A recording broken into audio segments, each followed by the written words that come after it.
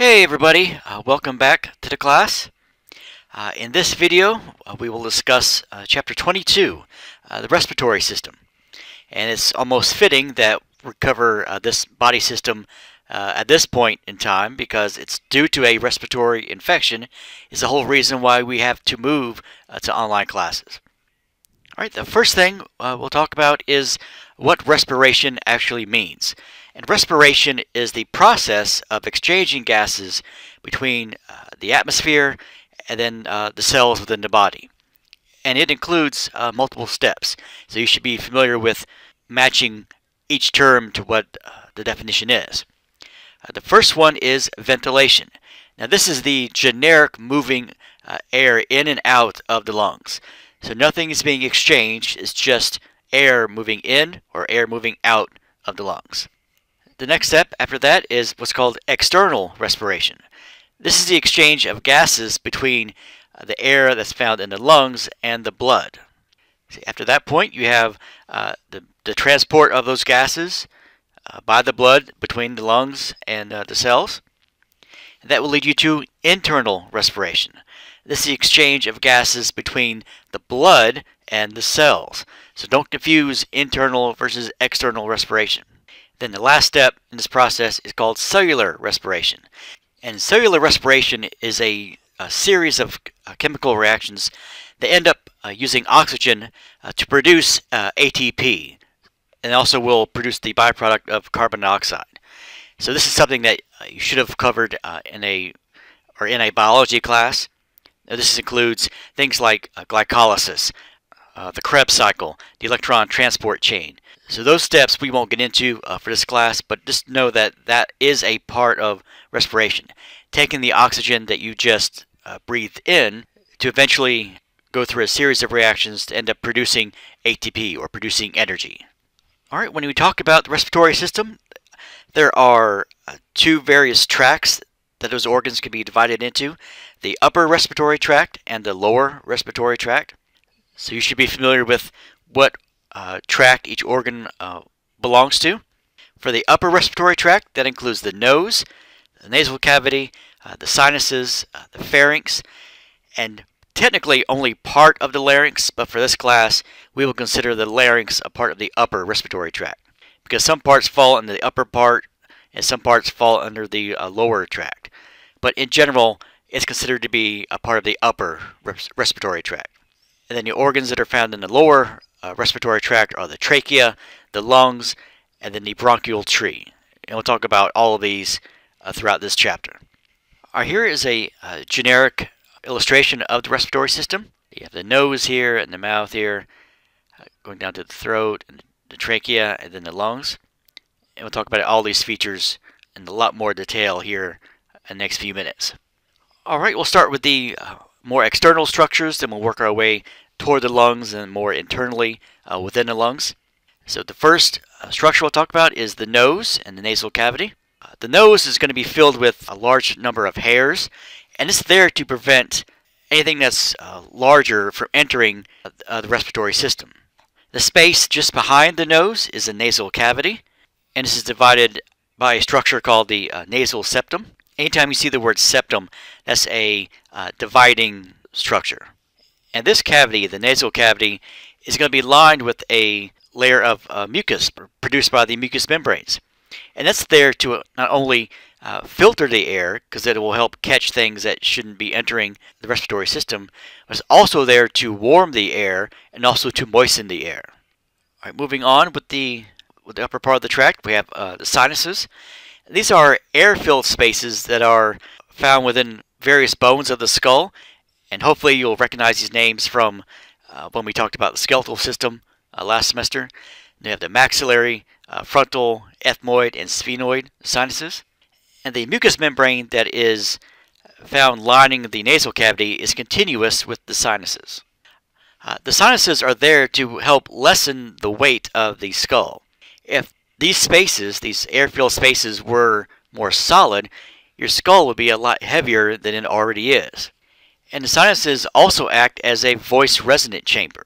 So this explains why whenever you are congested, either due to a cold or a flu or allergies, This is why your voice sounds differently. It's because the sound cannot resonate properly as it normally would throughout the skull. That's why it sounds more muffled. That's why the, uh, the tone sounds different. Alright, this image is one that we'll come back to uh, a few times in this chapter. I'll point out uh, the frontal sinus here, right in between the eyes, uh, sphenoid uh, sinus here, nose, mouth here, and we'll come back to uh, this image here in a moment. Alright, next structure we'll talk about is the pharynx. Uh, the pharynx is uh, just uh, posterior to the oral cavity and between the nasal cavity and the larynx. And a good generic way to think of this is when you hear the term pharynx, think of your throat.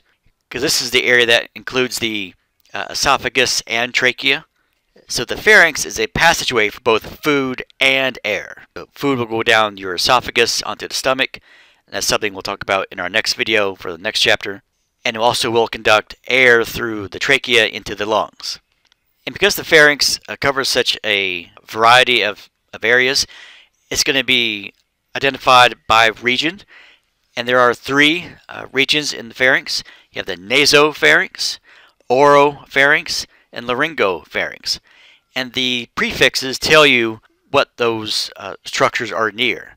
Nasopharynx, that's just behind uh, the nasal cavity oropharynx. Oro is reference to uh, mouth, so it's going to be just behind the mouth.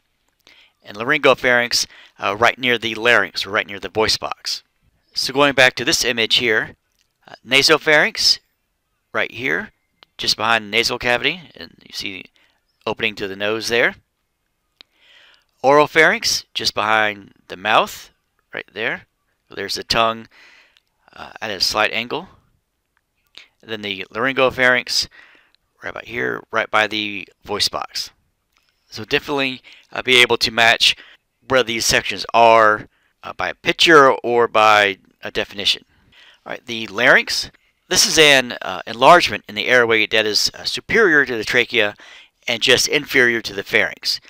And it's made up of a very large network, very complex network of muscles and different types of uh, cartilages.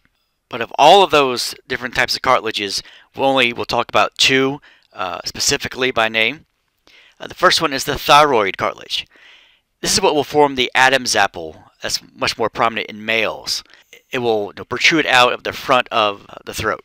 All right, in this image we have both the uh, anterior and posterior view of this.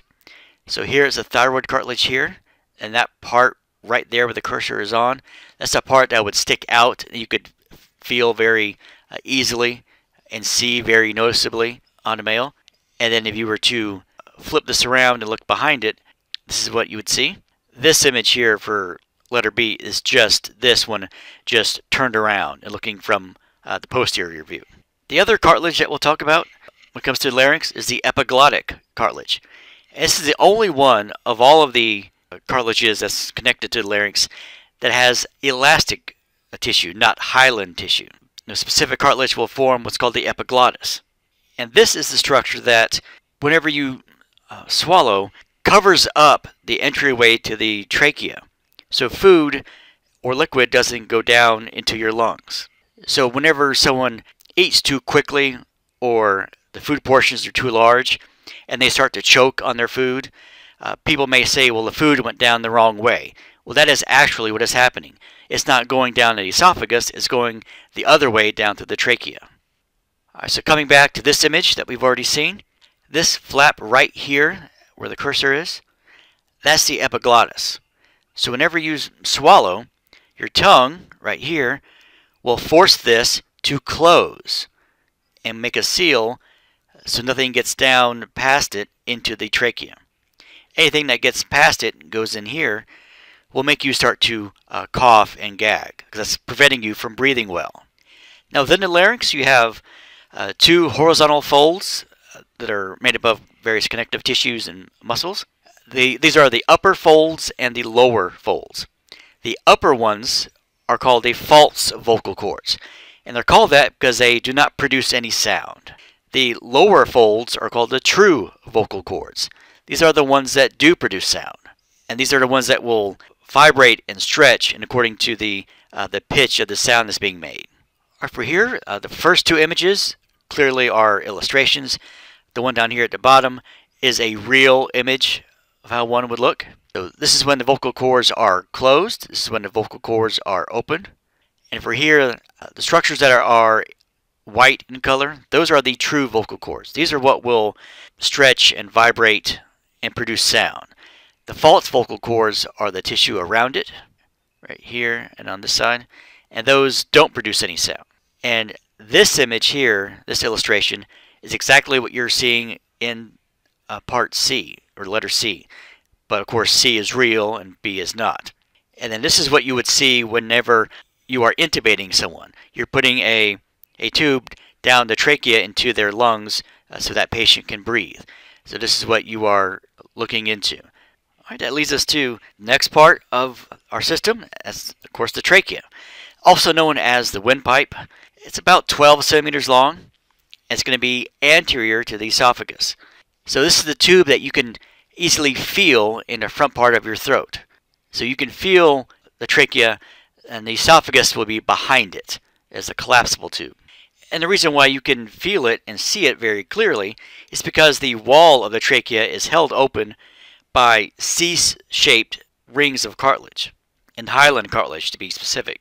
And the length of the trachea is lined with ciliated mucous membranes, and that's there to help capture uh, and trap particles that shouldn't be going down to the lungs. All right, so going back to this image, you see the trachea listed here and then here, and you can clearly see these individual rings, those individual uh, hyaline cartilage rings that have a, a C uh, shape to them.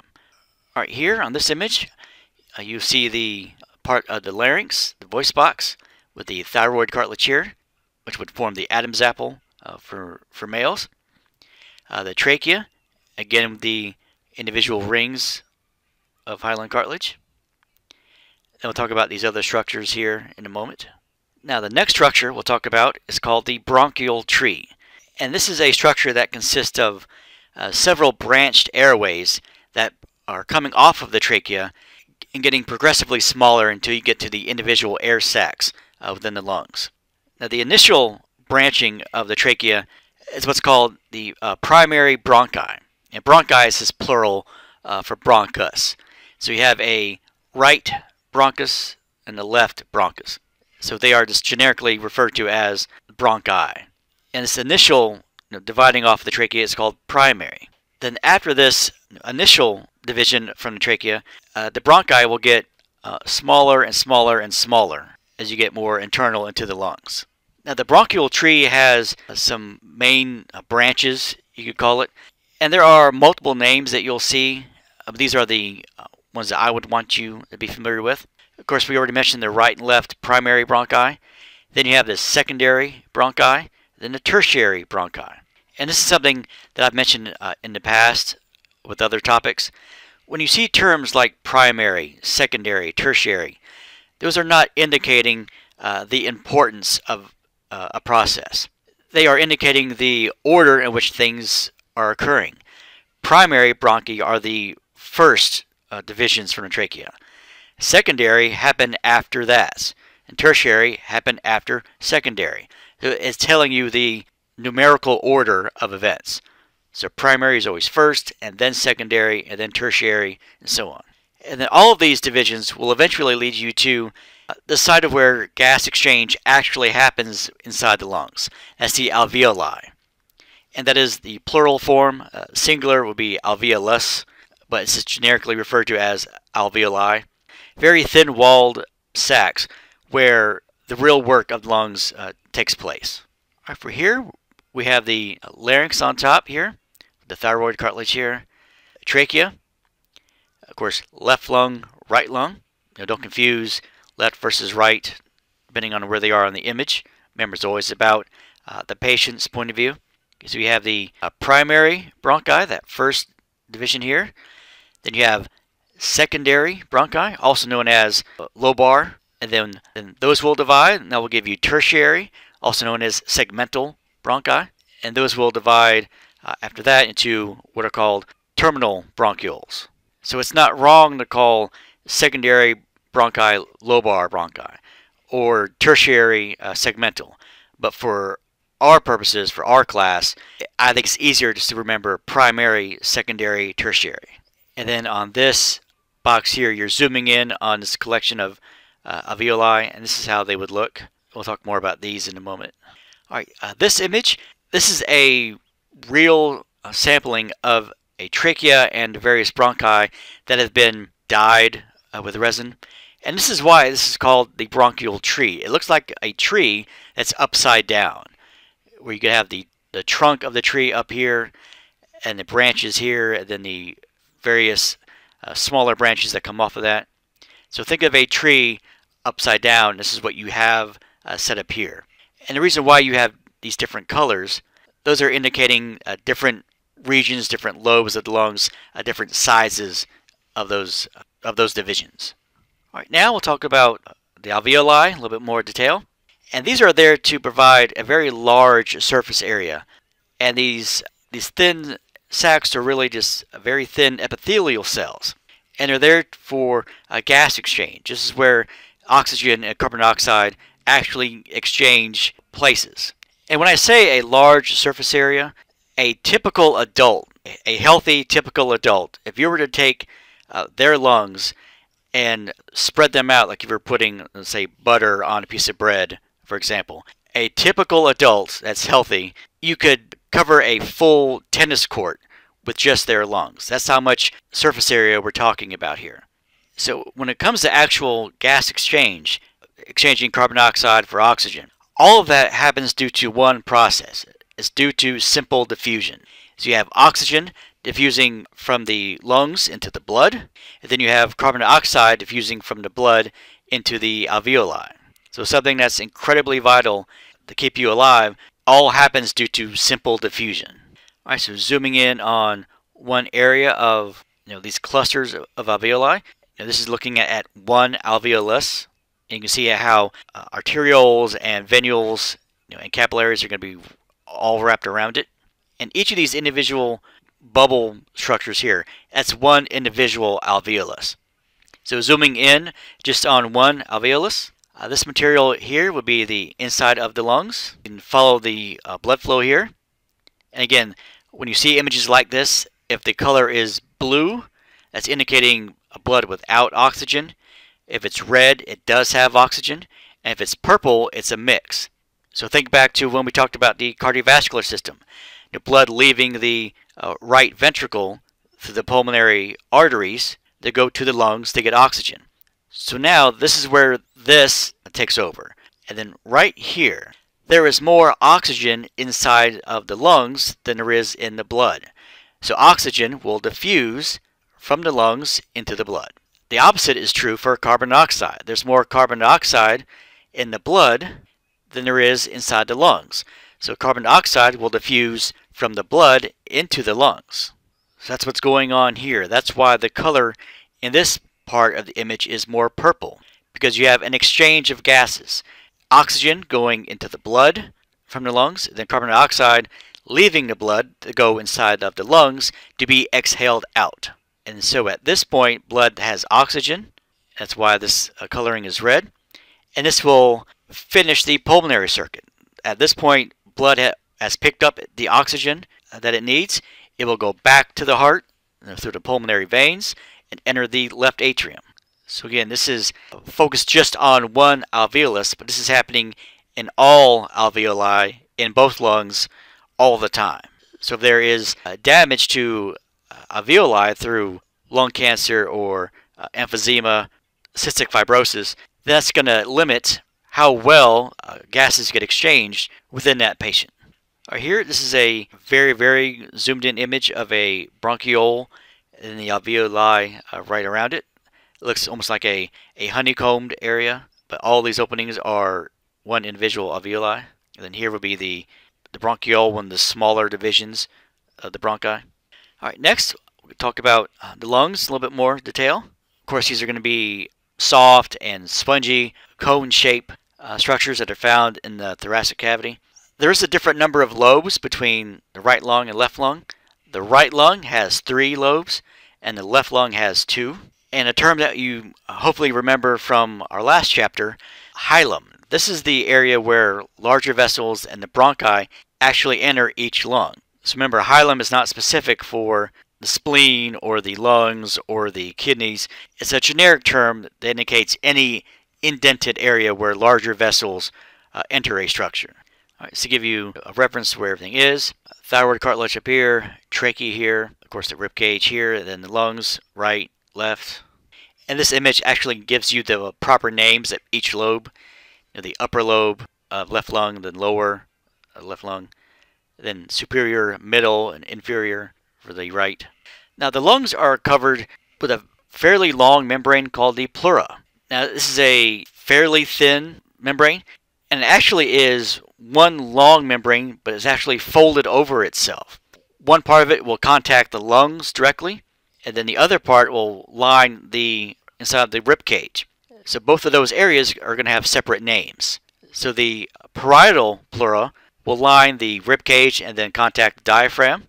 And then the visceral pleura will contact the lungs directly. And these terms, parietal and visceral, these are uh, generic uh, anatomical terms. Anything that is parietal will be lining a cavity. Anything that is visceral will contact an organ directly. So don't assume that parietal and visceral are only found with the lungs, because that's not true. So we have one membrane that's lining the inside of the thoracic cavity, then doubles back and folds and contacts the lungs itself, and that gives you a very, very small space in between those two layers. And that space is called the pleural cavity, or the pleural space. And this cavity is going to be filled with a particular kind of fluid that allows those layers to slide by one another whenever you are inhaling and exhaling. So that fluid is really a type of lubrication. So you can have that expansion of the lungs without causing any damage. All right, for here, this is illustrating uh, both layers of the pleura. So we'll look at the one in red first. That's going to be the parietal pleura. This lines the uh, thoracic cage and then contacting the diaphragm down here. And it goes all the way around. And once it gets to the hilum, right by here, it's going to fold back over. And then now it's contacting the lungs itself. That's why this is a, a blue color. So this blue coloring will be the visceral pleura. And then the space in between these two, which is highlighted here, that's the pleural cavity or the pleural space. Now it's a lot more exaggerated uh, for this illustration, uh, just so you can get a reference. But in reality, this is a very, very small space.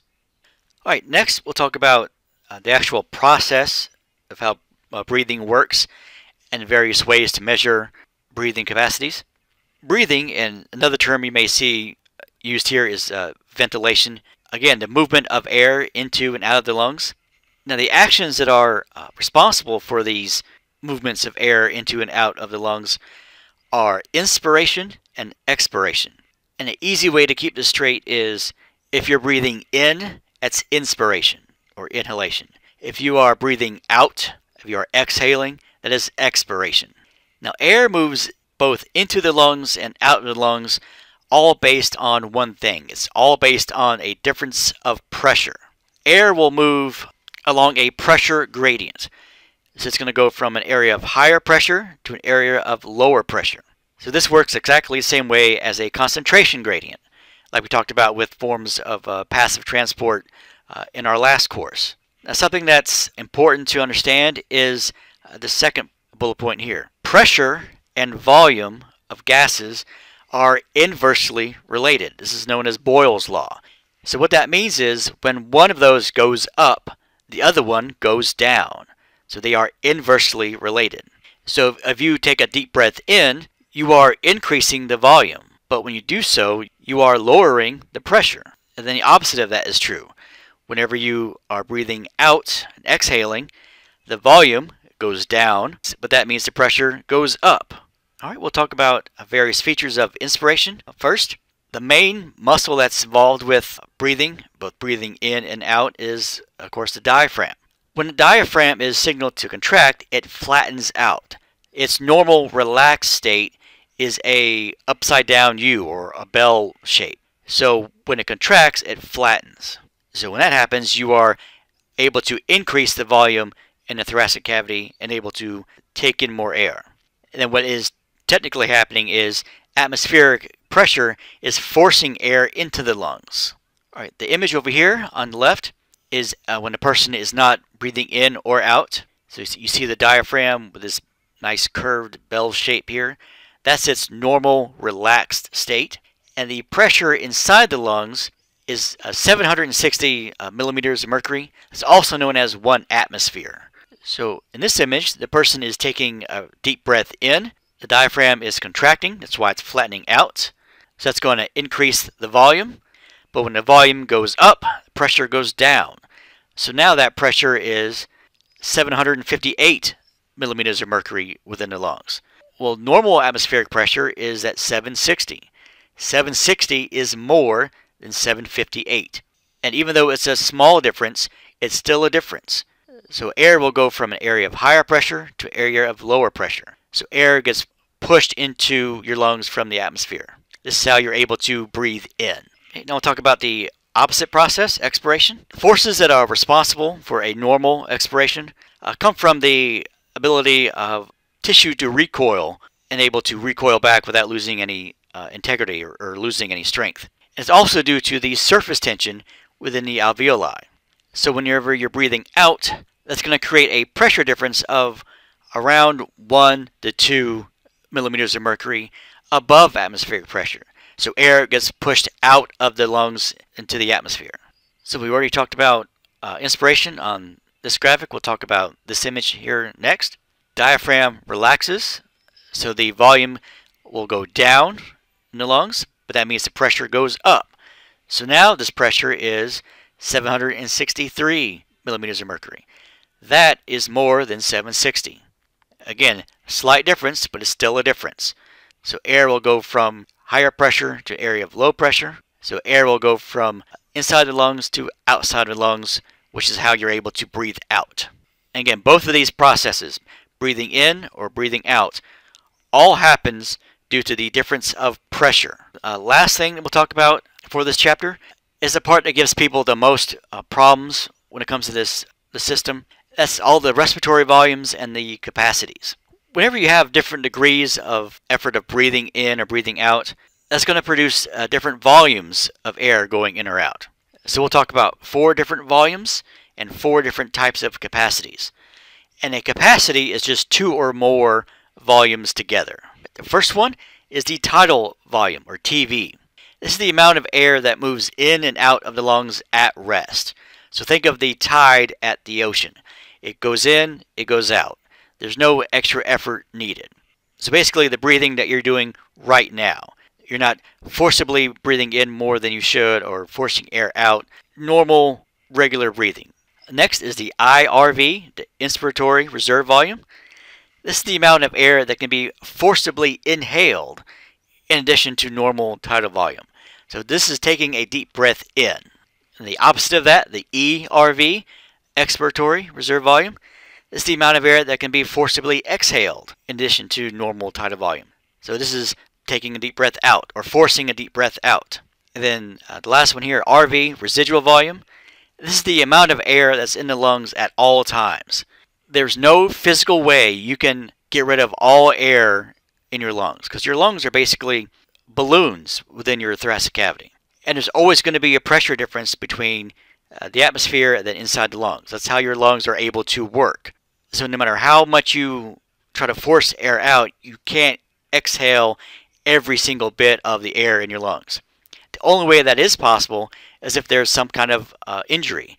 If someone is shot or stabbed and, and the pressure is equal and the air is completely out of the lungs, that means the lung has collapsed, which is something that you don't want to happen. Going on to uh, some capacities. Uh, the first one, uh, VC, the vital capacity.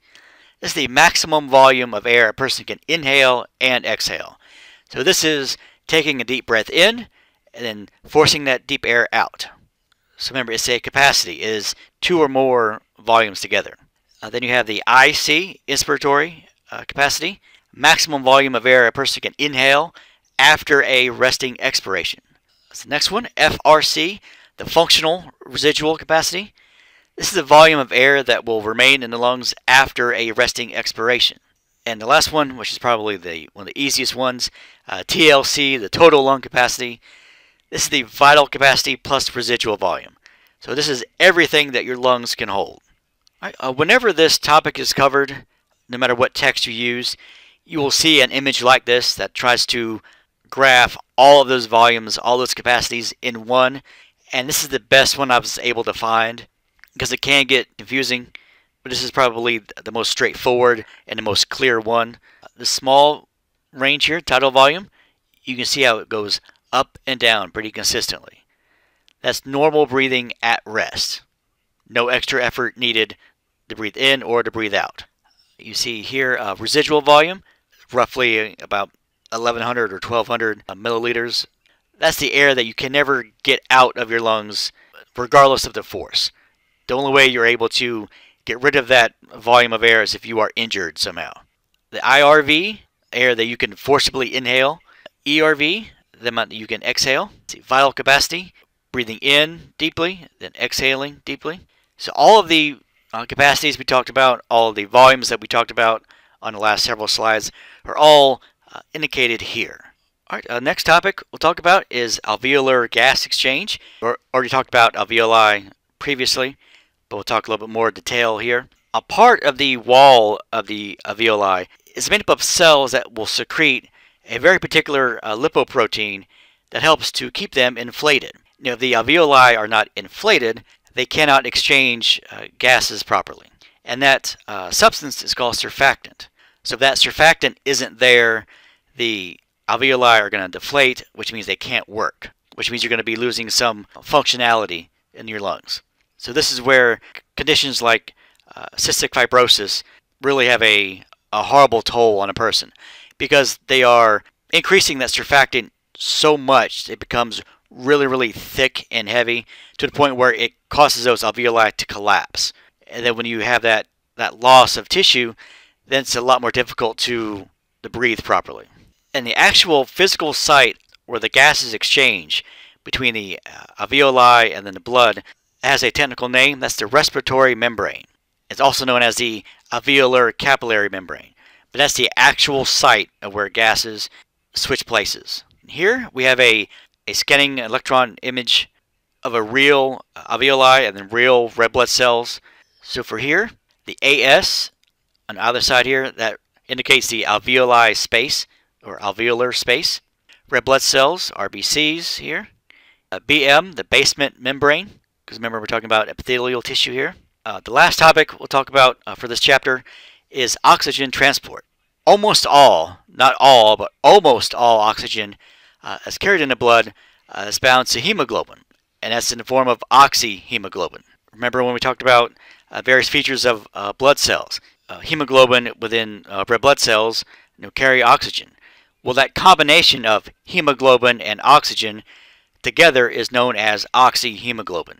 So that's where that term comes from.